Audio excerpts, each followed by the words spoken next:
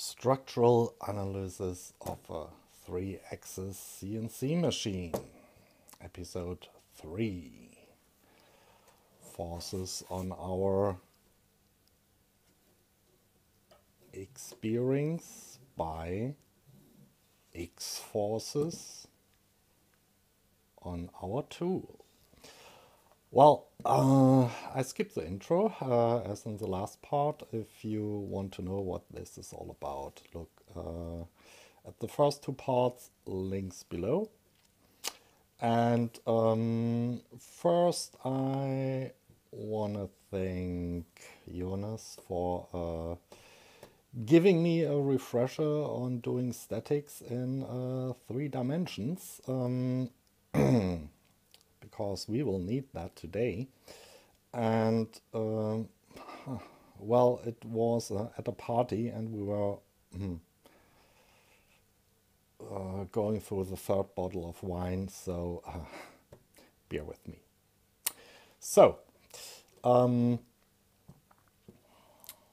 let's have a look. Um, we have our X-bearings, uh, the upper and the lower ones. Uh, you know them already intimately, I guess. And uh, we have our tooltip, which is somewhere here. And uh, this time we're talking about forces on the x-axis.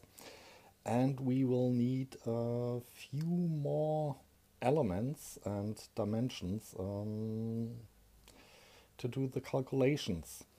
Um, first of all, uh, we have to take our lead screw, our X lead screw, uh, that is uh, the lead nut, uh, into account. And yeah, well, let's dive in. So,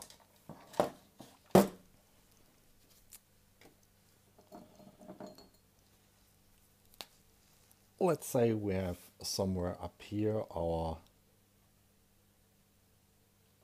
upper guide rod.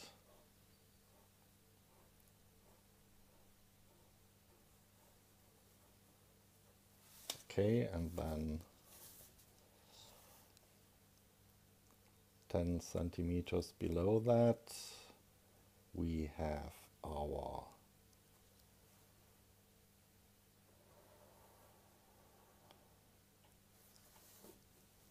lower guide rod.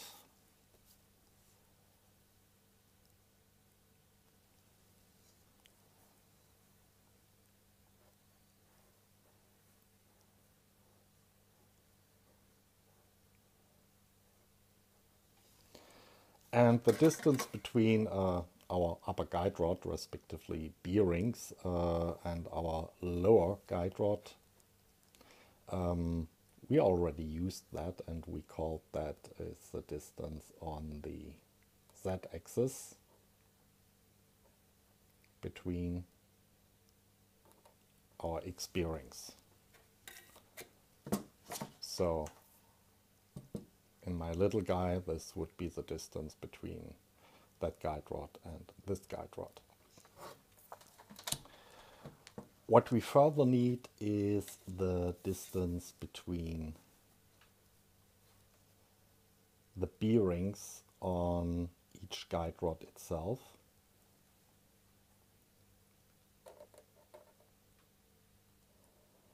And I do this relatively small, 2.5. Okay, so here would be one bearing, here would be the second bearing on the upper, upper, sorry upper guide rod.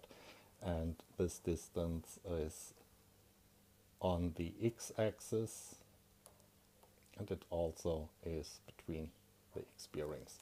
And we have the same thing down here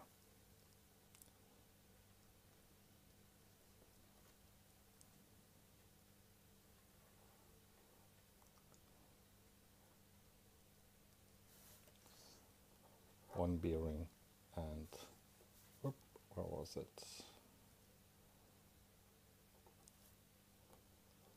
The other bearing.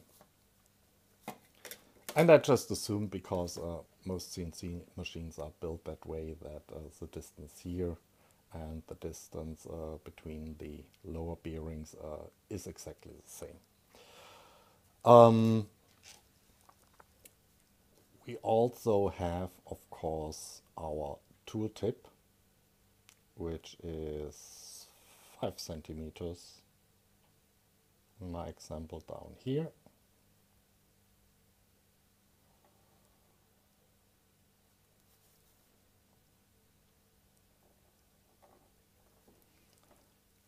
This would be our tooltip where the force is exerted.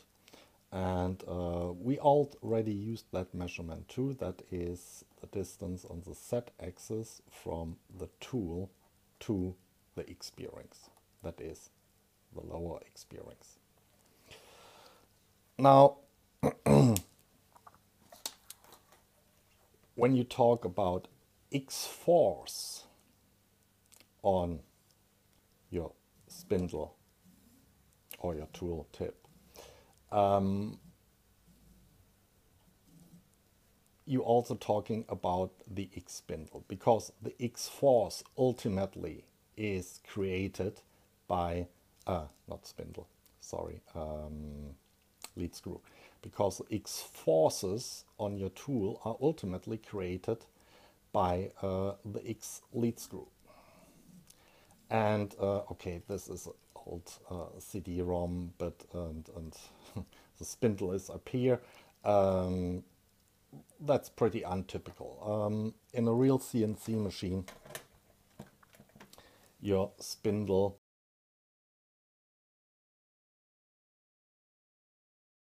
somewhere.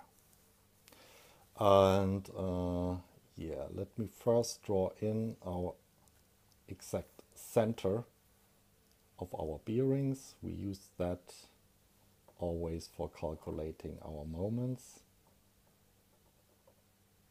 Exactly in the middle and uh, I, yeah, I'm cheating here because I know something you don't know yet. I'm drawing in our lead screw somewhere here.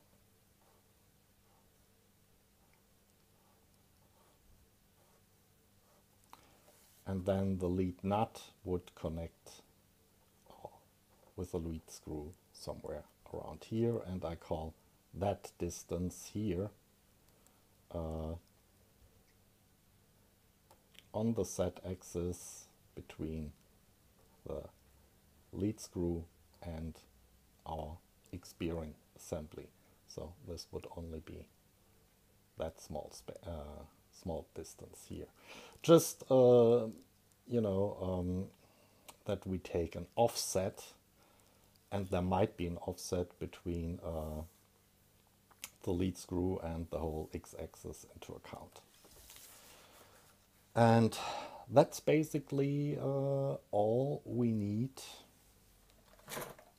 if we look at this from this side. So from the, here we have the x-axis and here we have the z-axis. So the xz plane.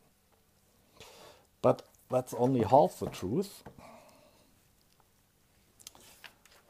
Ultimately, uh, I need another piece of paper. Yeah. We have also to look at it from the top. And here is our top view. And um, yeah here here's the part where it gets three-dimensional. Um, in the previous two episodes we always calculated all the forces in one plane. Uh, we won't be able to do that now so uh, we have our this would be my Z lead screw motor. We have uh, somewhere behind here we have uh, the lead screw for the x-axis and the bearings and they are all, if you look from the top, all almost in line, which mustn't be the case for a, normal CNC machine. So let's try to draw that.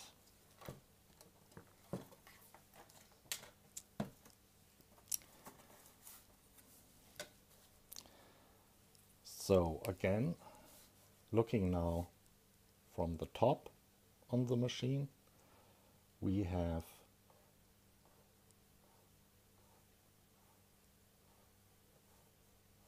our X bearing, that is our rail, X rail, and uh, there are uh, somewhere our two bearings. That, that is the middle.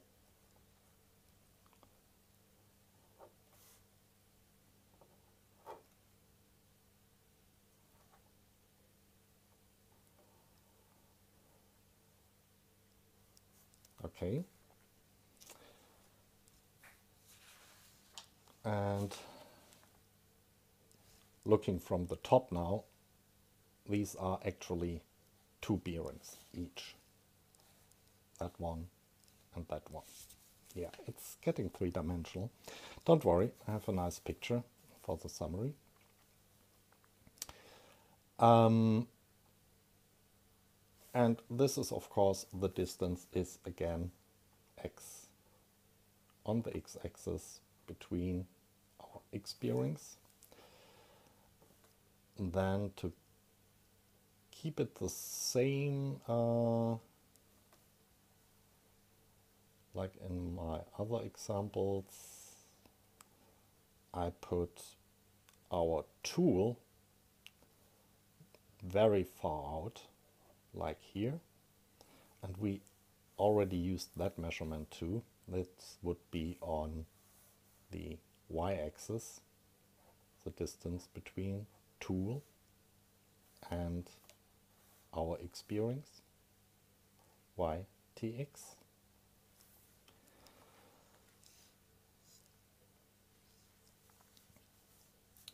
And now we need our spindle. Uh, why do I call it spindle? Our lead screw, which is somewhere up here.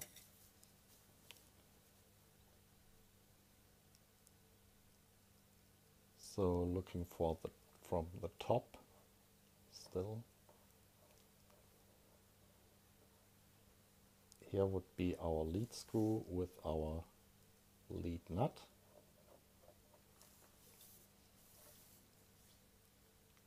and this has also a certain distance and I call that on the y-axis between the lead screw and our X bearings YLX. Yeah. So basically we have uh,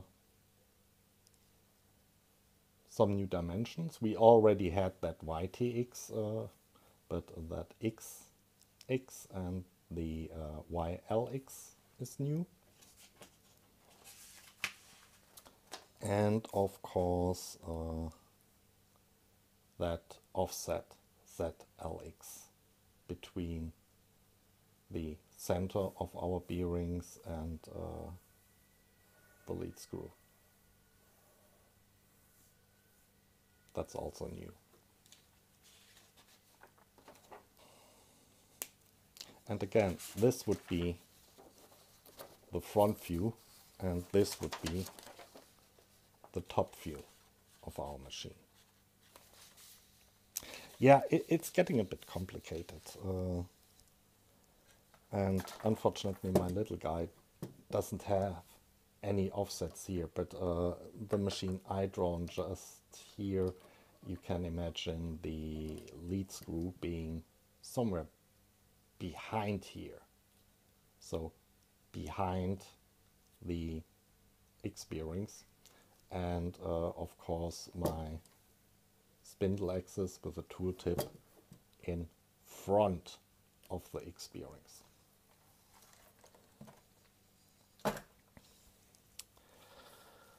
Now, uh, let's do our calculations.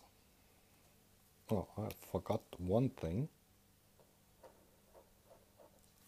Our center, where we have our momentums. Okay, let's get to it. Yeah, as always, we have our tool force, which uh, is exerted at the center of the tool or tip of the tool. And I draw that 5 centimeters long.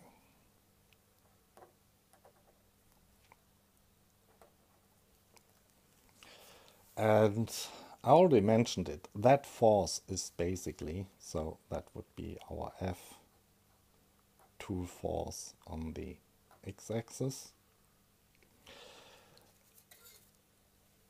I already mentioned that. Uh, I mean, if you look at the machine from the top, the force on the tool on the x-axis is caused by the lead screw, that is the lead nut of the x-axis. Nothing else. There, there is nothing in the machine that could uh, exert an x-force otherwise. So to create that force we need to have a counter force up here on our lead screw that goes in the opposite direction.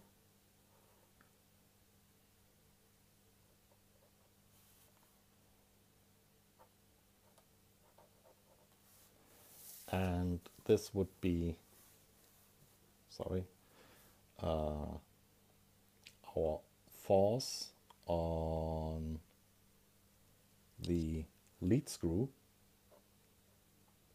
on the X axis. And this, of course, is equal to our force on the tool on the x-axis. Yeah, if I move with a certain force my lead screw in this direction, uh, my tool will experience a counterforce when it's going through some material in exactly the opposite action. So this is quite simple, but as we will see, our momentum on around the axis is now a little bit has two components. Um, yeah. So this force is pressing in this direction, so turning around here. This force is pressing in this direction, also turning around here. So I create a momentum which goes this way around the center. And the momentum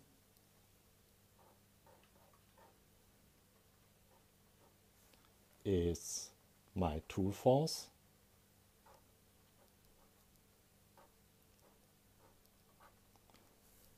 times the lever I have, that is the distance on the oops, y, y axis between my tool and uh, my X bearings.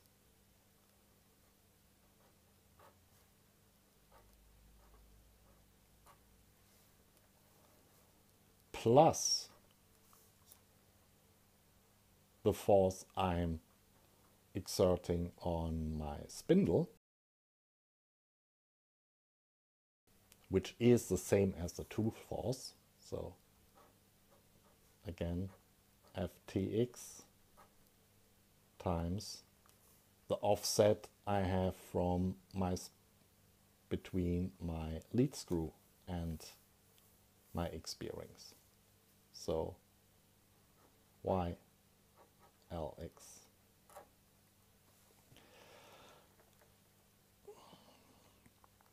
And one thing we can already learn here, I mean, I can simplify that.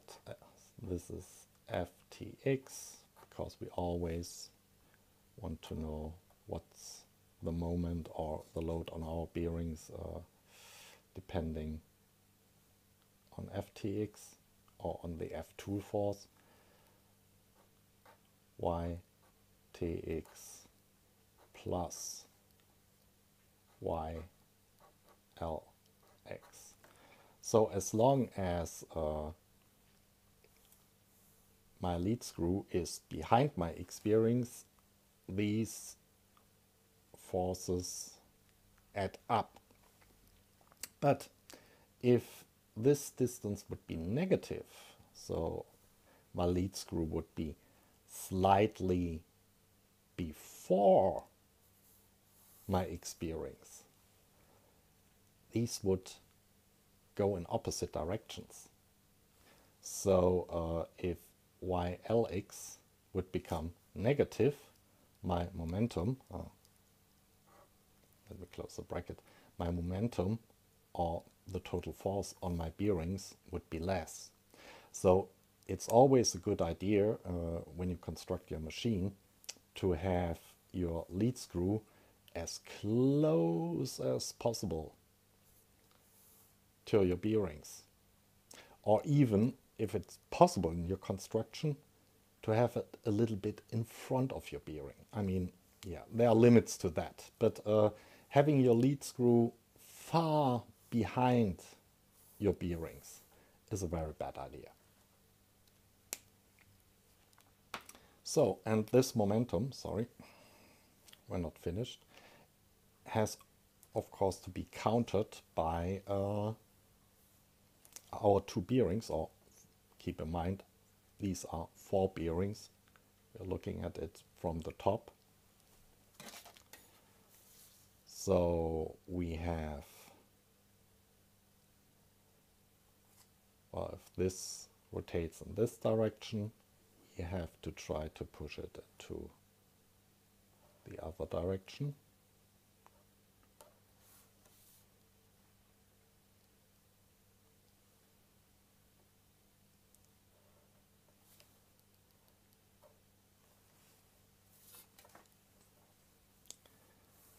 And the momentum we can create here would be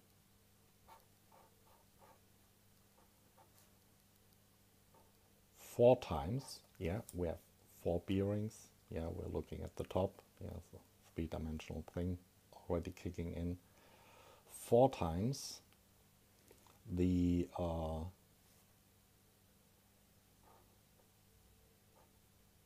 force from our X bearings. Uh, how do I call that? Mm, simply call it at the moment X for the bearings and the forces are in direction of the Y axis, so Fxy. Um,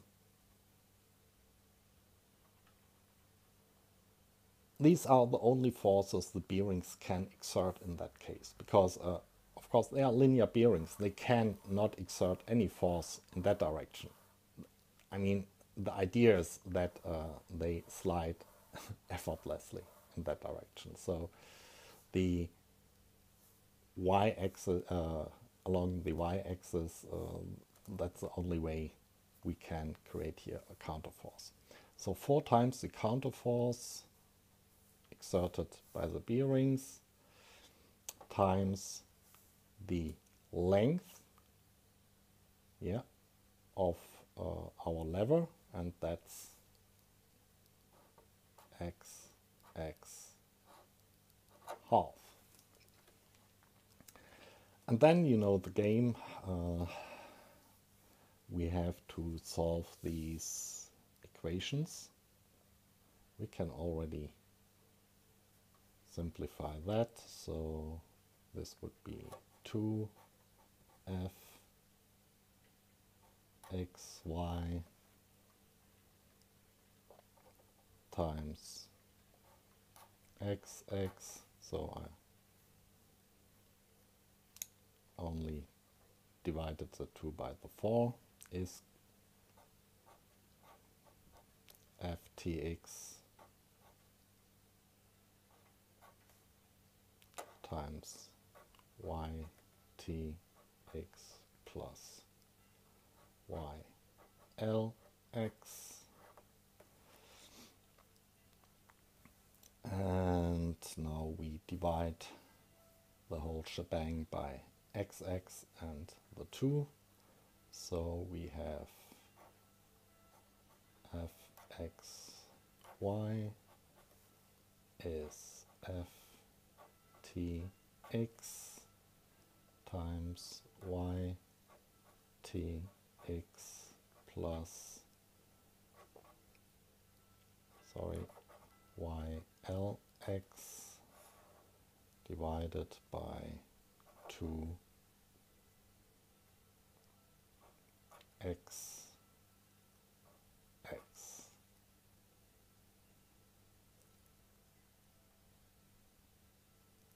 Yeah, and that's it. I mean, looking top down, so uh, just as a reminder, we're looking here at that was x and this is y. So we're looking at the x, y plane from the top and that's it. Pretty simple. And what we can glean from here is, well, uh, the trivial fact if uh, we put our bearings, spread them uh, wider, yeah, we divide the force, so we would reduce the force of our bearings, and uh, the further out our spindle axis or tooltip is, and uh, the further out to the back uh, our lead screw is, these really add up, uh, the higher will be the force. Yeah, okay, so next step, uh, front view. And sorry, I forgot to do the calculations uh, to scale for our drawing. But uh, YTX this is 10 centimeters, uh, so this would be 1 plus YLX. I've drawn that 5 centimeters, so that's 0.5 and that's divided by 2 times. This is also 0.5, so 1. So this is a whopping, ooh,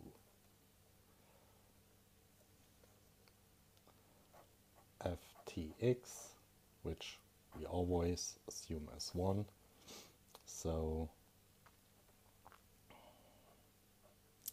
this is ftx times 1.5. And this would be 7.5 centimeters in my scale. Ooh, that's a lot.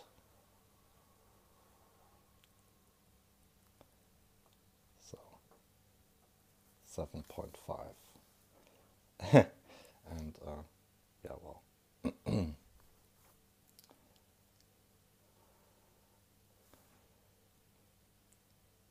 I don't have enough room up here. So yeah, this is basically 1.5 in length. Yeah, and it's easy to see. I mean, these levers are big and these levers are small, so our bearings, and at least as I've drawn them, have to take a, a lot of force. And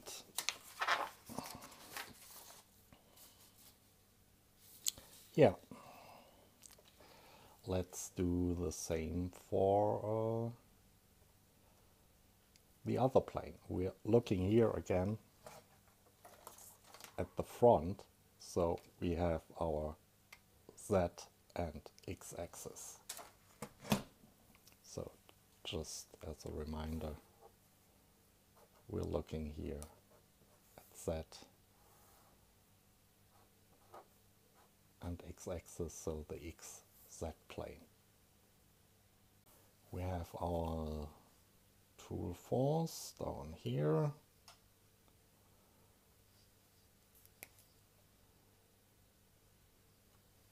I'm doing that five centimeters long.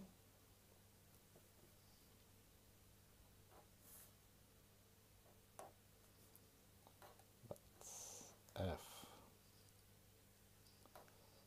tool on the x-axis and yeah you remember we have our lead screw and the lead nut a little bit offset and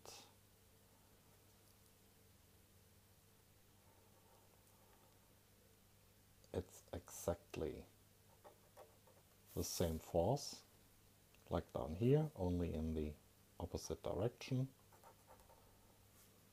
so this would be our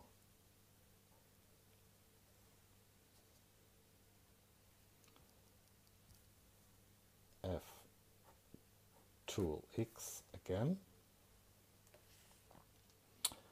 And now we can calculate the momentums and for reasons that will become apparent when we do the summary, I do that in blue.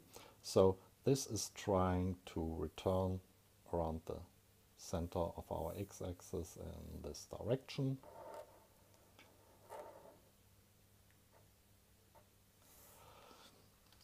And it has a lever. Yeah, let's write down the momentum. It has so f t x and it has a lever of ztx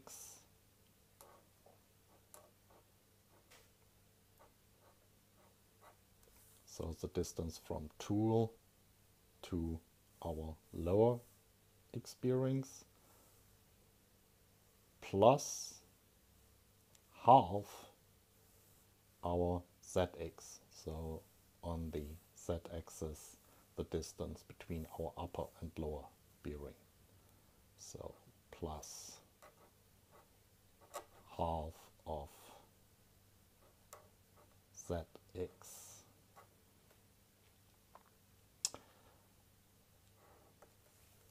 and from that we will have to subtract this momentum which is created by the same force uh, but by our lead screw. And yeah this goes into the opposite direction. If our lead screw is offset from the center downwards if that distance here the ZLX would be uh, negative, so uh, above our center, this would add to the total momentum. So if your lead screw is not completely centered between upper and lower bearings, it's a good idea if you have to build in an offset in your machine to put it down, not upwards. If you put it upwards, you create higher momentums and therefore higher forces on your bearings. So that would be minus ftx times zlx.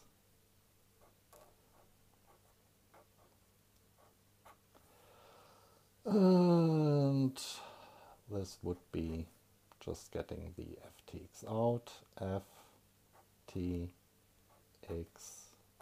times z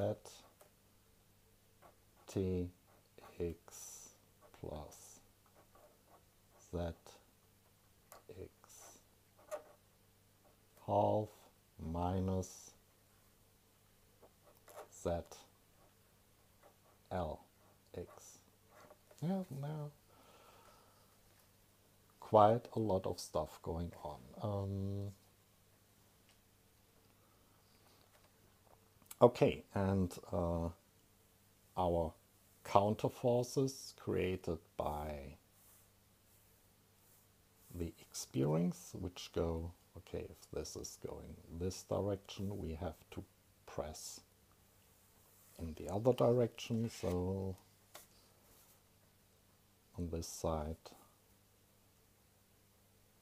on the left side, it goes upwards.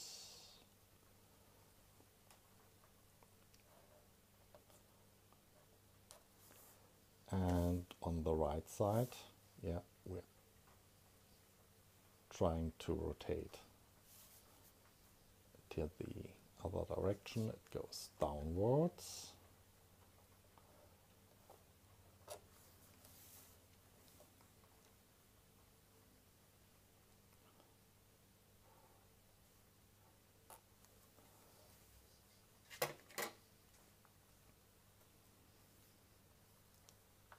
Okay, running out of paper here. So counter momentum would be four times our force on the bearings and this is the force on our X bearings on the um, Z axis so Fx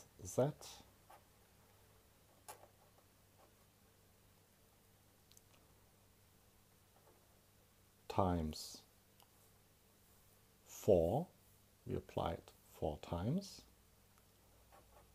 and our lever each time is half of that xx distance, so the distance between the bearings uh, on the x-axis, I mean the lever, we can just project it down here to our rotational center. So fzx times 4 x x half and yeah, that is, we can do this in one swoop just yeah, for yeah you see what I'm doing there. And okay I'm running out of space so I continue up here so fxz is equal to f tool x. Now I take this term, that is z tx plus zx half minus z lx just copying from here, divided by 2xx.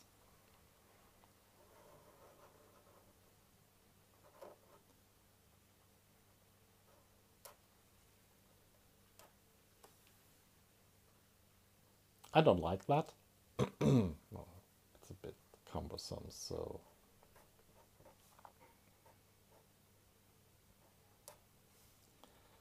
I basically multiply top and bottom by 2. So 2 ztx plus zx minus 2 zlx divided by 4 x x. So we don't have uh, here over under over under two times. Mm, it's a bit cumbersome. So yeah, but um, I mean some trivial informations here. Uh, the farther out your tool is from your bearings, uh, the higher the forces with the factor 2, so this has a great influence. Um, also an influence has the distance on this force, the distance between your upper and your lower bearing. And the force increases actually if uh, upper and lower bearing are apart from another which is um, kind of a problem because in our other, uh, in our first two episodes looking at the uh, Y and Z forces uh, on the tool, was always a good thing to have uh, your upper and lower bearings as far apart as possible. So yeah, hmm, little trade-off here. And then also with a factor 2, so very important, uh, the offset of your lead screw from the center of all bearings. Yeah, the bigger we make that, the lower the force becomes on our bearings. I mean, uh, it's easy to see. Uh, in theoretically, if you could put your lead screw at the same height as your tooltip, you see the forces would immediately cancel each other out and uh, we would have no forces on the bearings at all. Uh, of course, you cannot put in a real machine uh, your lead screw at the same height uh, as your tool. It's quite impossible, but uh, what might be in some constructions uh, possible is to put uh, your lead screw at least at the height of your lower bearings. That might work in some cases, but just remember, if you have a slight offset uh, in your constructions, it's a good idea to, yeah, go downwards with the offset, not upwards. And now we have to calculate the whole thing, uh, at least for our drawing. And um, so ftx is 1, yeah, we don't have to write that down again. Uh, 2 ztx, I drawn that 5 centimeters in my drawing, which uh, is in my scale 0.5, so 2 times 0.5 is 1, plus zx, that was the distance uh, on the z-axis between lower and upper bearings. It's 10 centimeters, so according to my scale, it's again 1. And then minus 2 zlx, and this is only 2.5 centimeters times 2 is 5 centimeters. And in my scale yeah 10 centimeters is 1 so this is minus 0.5 and we divide that by xx which is also 0.5 yeah 5 centimeters so on my scale 0.5 2 times that is 0.5 well, times 4 is 2 and this is 1, 2, 1.5. Yeah.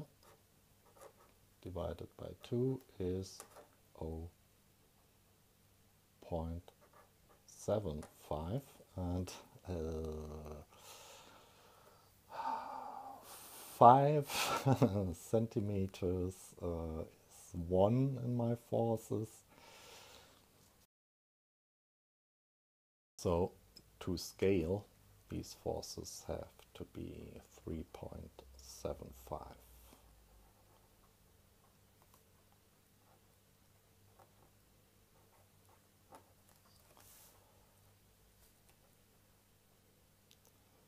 And I wonder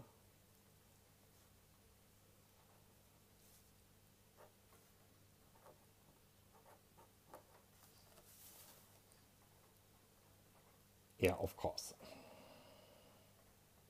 Not enough room.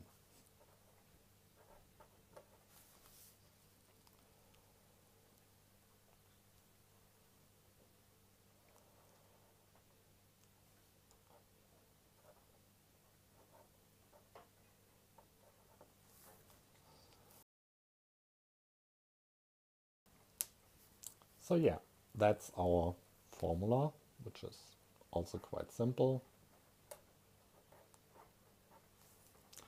For the forces on our x bearings in z direction. And yeah, in the xz plane. And we have the same for the xy plane. We have uh, our formula. and these are the forces on the tool, uh, on the bearings, on the X bearings in the Y direction. and uh, in the summary, we will bring both together. So, yeah, this was our formula here.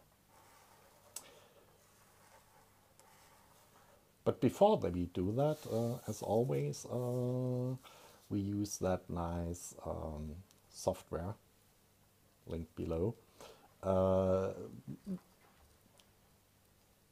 to verify if my doodle uh, here, uh, my doodles are correct.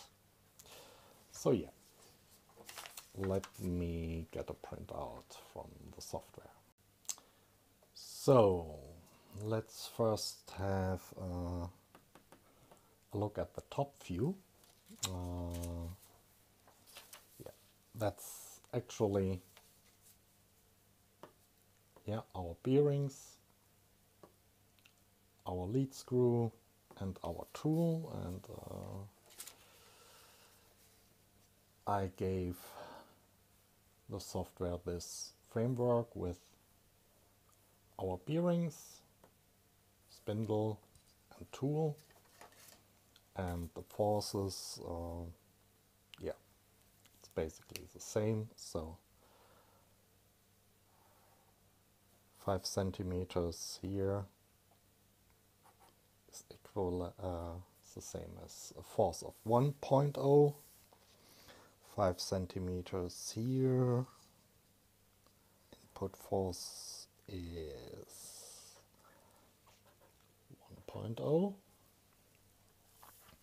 and the software calculates for one uh, for the node 1 and the node 2 where our bearings is a force of 3 and minus 3 so exactly what we expected.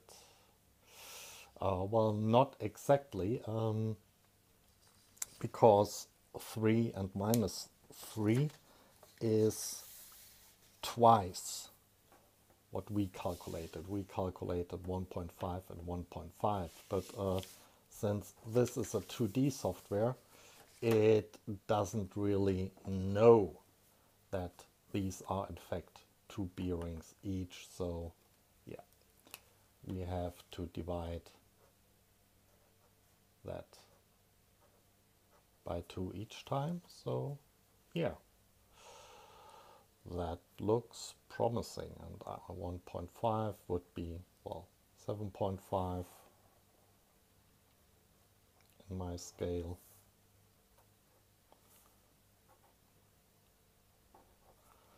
And I have exactly the same problem. My sheet of paper is too short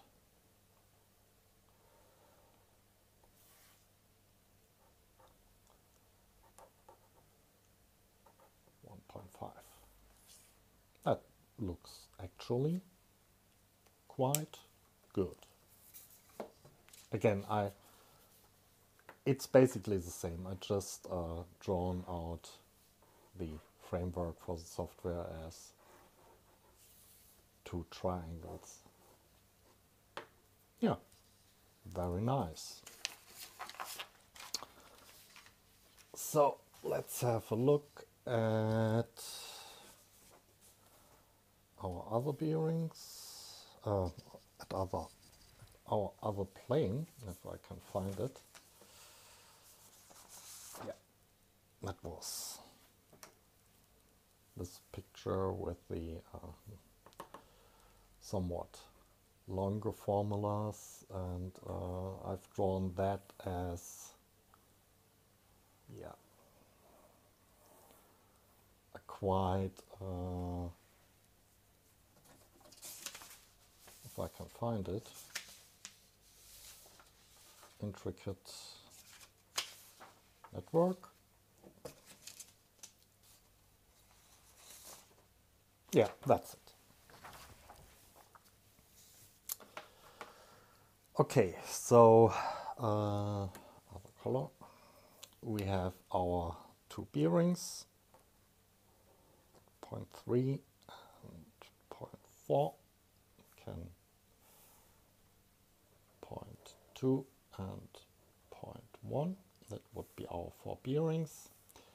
Uh, then the distance is half, so every square is 0.25. No, I forgot one here, doesn't matter. And we have uh, our tooltip here, and we have our lead nut here. So again, our forces would be, no I can't find the pen, Ah, here it is. And our scale.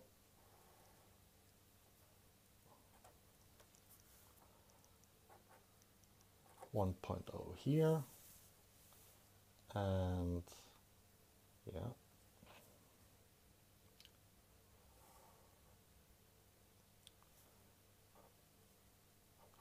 one oh that direction. So basically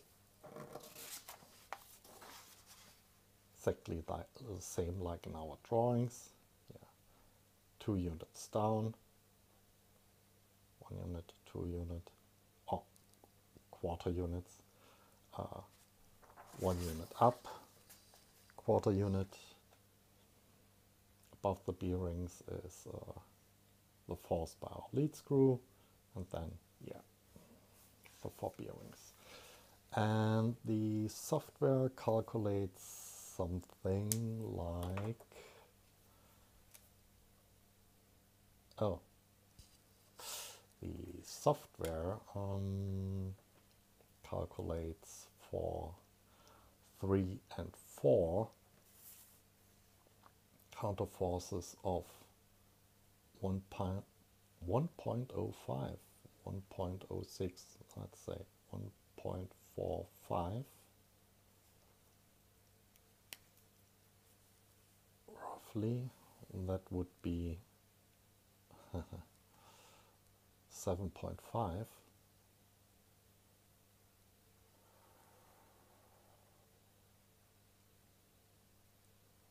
yeah about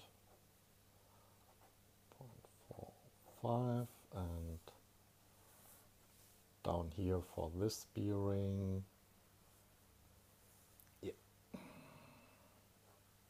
paper's too small. I should have chosen another scale. 1.45 and for the upper bearings 1 and 2 only 1.044 1.049 yeah let's say 0.05 hmm. And so yeah uh, basically nothing. 0.05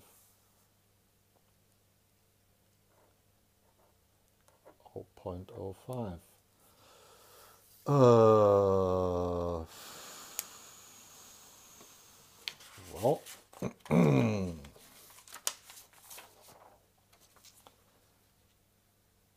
and we calculated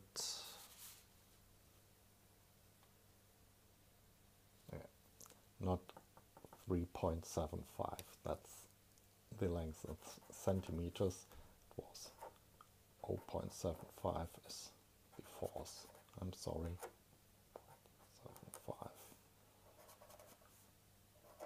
0.75 0.75 and 0.75 and you see in the sum yeah on each side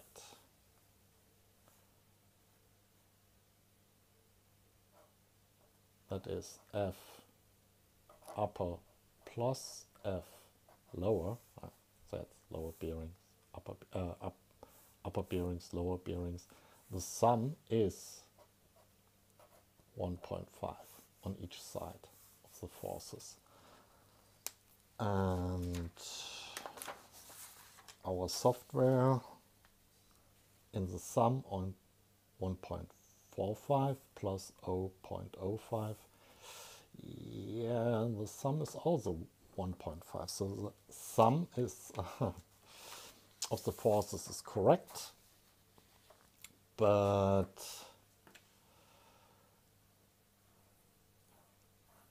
the software calculates a totally different distribution of the forces. And uh, yeah it basically says the lower bearings take almost all of the force and the upper bearings practically none.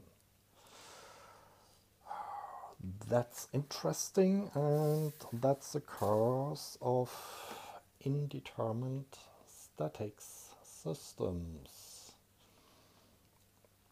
Because you see I'm hmm, I just assumed that the forces would be evenly distributed and uh, they are evenly distributed between uh, the left and the right because that's a symmetric system, but obviously not between the lower and the upper, because, yeah, lower and upper around that point, it's absolutely not symmetric. Um, hmm. Let me uh, make some more calculations with the software. So, um, yeah, here's just another example. Now the, uh, yeah, beforehand we had our spindle, uh, our lead screw up here. Now I have our lead screw here on the same height as uh, our lower bearings, which would be here. And it gives us a distribution basically well, hmm, the same. Um, the lower bearings, 3 and 4, take the brunt of the force with uh,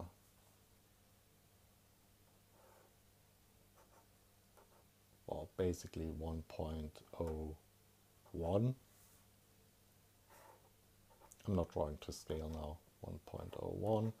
And the upper bearings have only 1.01 respectively 1.0 uh, 0 0.01 which is next to nothing and yeah well I did that for all possible cases and um, I come up with uh, an Excel sheet. Uh, so just for completeness, I have here uh, our XX, and I take the original,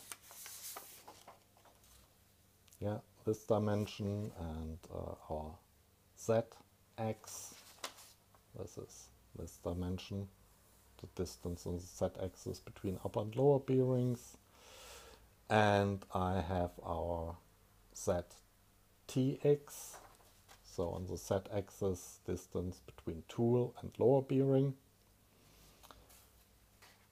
which is also always the same. And then uh, I varied uh, the ZSX. Yeah. Okay, here, here I set lead screw and here I have, why is that SX? Okay, that should be an L lead screw. Between, yeah, here in our drawing, for example, that was 0.25 here. Zero would be exactly in the middle and uh, then negative values minus 0.25 then if the lead screw would be on the same height as our upper X bearings, that would be minus 0.50 and then further up here minus 0.75 and if it would have the same distance uh, as a tool from the lower bearing that would be somewhere up here 1 point minus 1 yeah and uh, the same distance here would be 0 and distance here would be uh, sorry distance here would be 0.50 and distance here is 0.75 is that right? 0.2 yeah. And uh, basically I calculated for all these cases using the software the upper forces on the upper and the lower bearings. So zero again would be at the same height as the center of the bearings. And then we go downwards and minus would be upwards. Yeah, it's, it's, uh, yeah. It's not nice, but uh, that's what it is without drawing everything anew. And uh, minus one is uh, basically the symmetric case.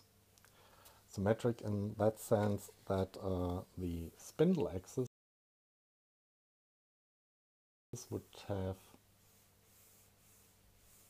would be symmetric from has the same distance from the center of our bearings as uh, our tool. And yeah, the forces, yeah, we talked about that. If you put the lead screw upwards, you got a problem creating a higher momentum. So uh, the forces increase, but uh, in the most upward position, the F upper over F lower. So basically um, the relation between upper and lower is 1.01. 0.00. So it's symmetric. Yeah, F upper divided by F lower, equivalent is 1.00. Point oh, oh, and as I move down with my lead screw,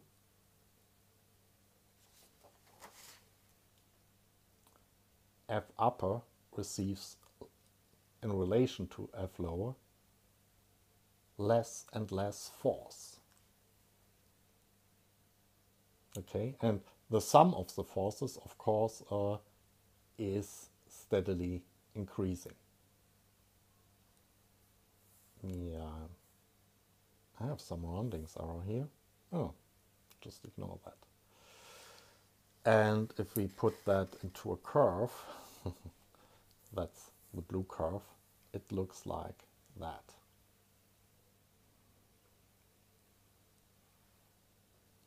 So this would be the distribution of forces between uh, the upper force on the upper spindles uh, in relation to the lower force and this would be the distance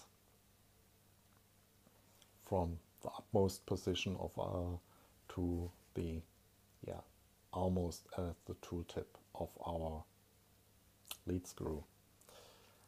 And yeah um, it's not even a linear curve. I put in a linear curve here which is uh, the actually the no just it's linear curve. And I was also able to um, yeah to come up with a function uh, it's a quadratic fun function but we well um, mm, which mimics that curve quite well but the problem here is if I take another model for my machine, so yeah, you see I basically uh, made a lot of squares and uh, a lot of trusses. If I reduce that to less trusses, which should be still a completely stiff uh, body. So it's made up out of triangles and uh, a whole lot of triangles and it cannot move. Lead screw is in that case up here, tool is here, all four bearings, yeah. If I use that model in the software, I come up with a little bit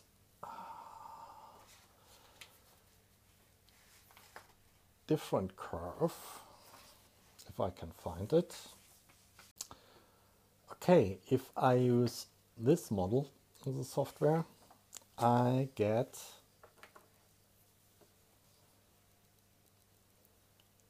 a different distribution. Yeah, between uh, the forces on uh, the upper and the lower bearings. And um, Mm, yeah, my quadratic curve I came up with um, doesn't match that too well. Uh, yeah. and what do engineers do when they are not sure? they use a safety factor. Uh, that is, they err on the safe side. So I know I have cases where we have a one-to-one -one distribution between upper and lower bearings, but I, we have also cases where we have um, almost zero force on the upper bearing and the lower bearing is taking the brunt of the force, or almost all of it. So, um, I guess we'll have to go with that. And uh, yeah.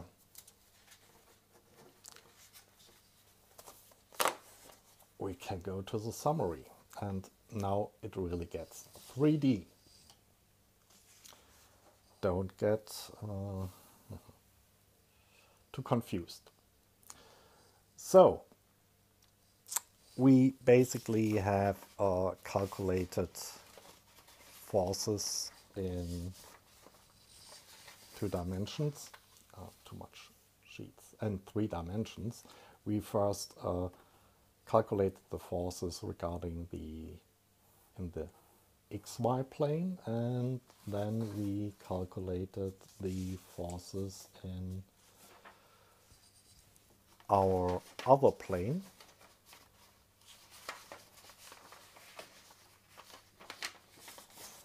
that is in the xy plane. And now we're bringing all together. So our dimensions, uh, yeah, if we look at the side, we haven't calculated anything in the side view because uh, obviously we have no forces on our x bearings along the x-axis. So once we looked uh, from the front, from here, and uh, then we looked, uh, yeah, from the top. And in the front view, we had that uh, ZTX, yeah, our bearings here. That is the distance to our tool, just on the z-axis. We had the distance between our lower and our upper bearings, which is zx. Still looking from the front. We had the distance between our bearings on the upper and lower guide rod, which was xx and uh, then we calculated the momentum. And that's the momentum around the you guessed it yes our y-axis around the y-axis. And uh, we came up with that formula for the force. Yeah that was that uh, little bit clumsy thing, but uh, well, at least the total force seems to be right. We are not sure about the distribution between upper and lower bearings. Um, our other view was from the top on our system with the bearings. Yeah, we're only seeing uh, two bearings because uh, there are two stacked on each on top of each other we have still our lead screw and uh, we have uh, here our tool. So our tool out here, we have the dimension ytx, the distance from the tool to our x bearings. And we have the dimension, where is it? Here YLX between our lead screw to the plane where our bearings are. Yeah, and again we have our XX, the distance between the bearings on each support rail. And of course this time we creating a momentum around the z-axis. So we're looking basically here in this picture in this picture from uh, on the side of the machine but in three dimensions so not a flat view but uh, yeah I have to turn it that way a little bit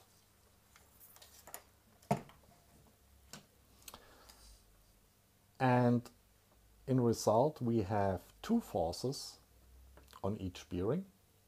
Yeah. The Fy Tx, there's the more Tx, the blue ones and uh, the green ones and uh, the blue ones, which we calculated for each plane separately. And now in three dimensions, these forces come together. And as I said, because we don't know the exact uh, distribution. Uh, at least I couldn't find out the exact distribution between the upper and uh, the lower bearings. I simply introduced a safety factor of 2 for the lower bearings in case the lower bearings really take the whole force. And uh, that's the reason why my forces are drawn to scale, why these forces are for the lower bearings longer than for the upper bearings. And yeah, it's the same. You can uh, either draw, yeah, using a force triangle, the complete resulting force on the bearings, uh, including the uh, angle of attack have it only once here. And you can simply measure that, or you can make some, yeah, complicated formulas to uh, to calculate the total force and uh, the angle of attack. Yeah, but the, the, surprising the surprising result for me here is uh, that the lower bearings have to take up more force than the upper bearings. I mean, uh, at least the software says uh, upper and lower bear forces of, on upper and lower bearings are only in balance if uh, our lead screw, where is it? Our lead screw has the same distance from the upper bearing as our uh, tool has from the lower bearing. So the system is symmetric, then the forces are distributed symmetric. Otherwise, as soon as we go a little bit downward with our lead screw, more and more forces, and not linear, it's not a linear distribution, it's, uh, yeah, some function uh, is going on the lower bearings uh, to the extreme that uh, at least in this drawing yeah to scale it was about uh, only yeah four percent of the force or something like that uh, I'm not sure, yeah, 4% or 3% of the force is taken up by the upper bearings and the rest goes to the lower bearings. And I've assumed that uh, this would also be true for uh, our green stuff. Yeah, looking at the, sorry, looking at the X, Y plane because uh, yeah the software didn't calculate the distribution between upper and lower only between left and right but uh, our other forces yeah that cause the forces in uh, our bearings so the forces of the lead screw and the forces on our tool and the force on our tool um, they are also not symmetric in that case. So yeah, also here safety factor of 2. So I give you nice full shot and uh, yeah, I have to put up these graphics uh, at some point somewhere. If you have uh, suggestions, Google Plus or Blogger or whatever, Google Drive, uh, what you think is more convenient, um, yeah, just give me a hoot in uh, the comments down there. Or if you have um, good idea what the ideal distribution of the forces between upper and lower bearings should be, um, give me a hoot too. And now, as always, um, I will take out the calculator and uh, use that um, to find out what that means for my CNC machine. So, for my little CNC machine, the results are catastrophic.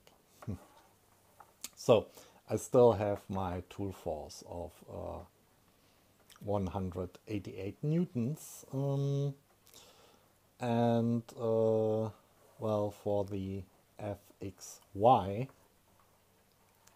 my measurements, I come to 581 newtons I have to take this two times, our safety factor.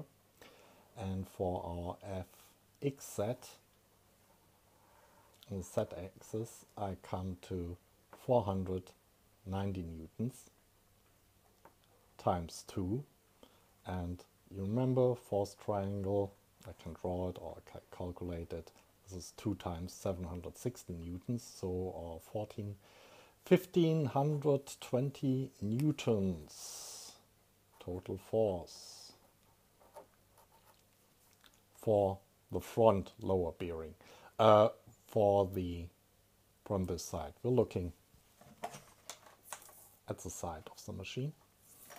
Um, for uh, the back bearing, which I obviously can show here, uh, it's uh, exactly the same forces but flipped around, so the resulting force would go up here.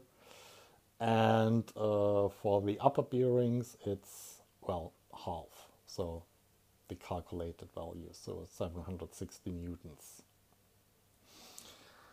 And that's far too much. I think my SBR 10 UU bearings can take a dynamic force of 375 newtons.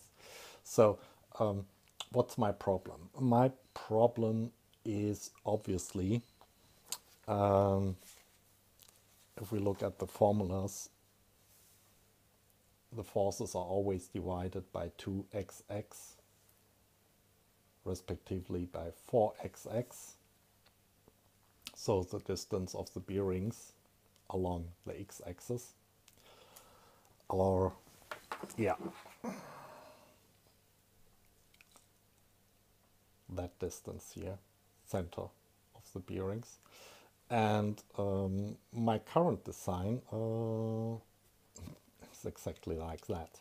I put them as close together as possible and that leaves me 33 millimeters or basically in this case nothing so I can have the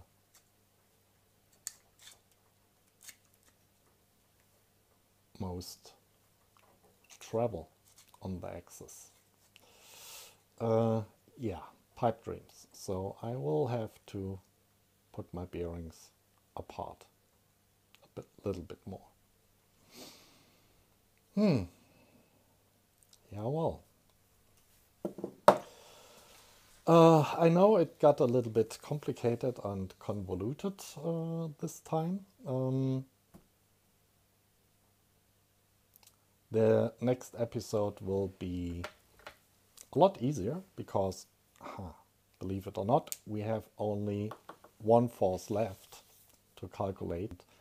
That's the load put on the bearings by the weight of our whole XY assembly plus uh, the weight of the spindle.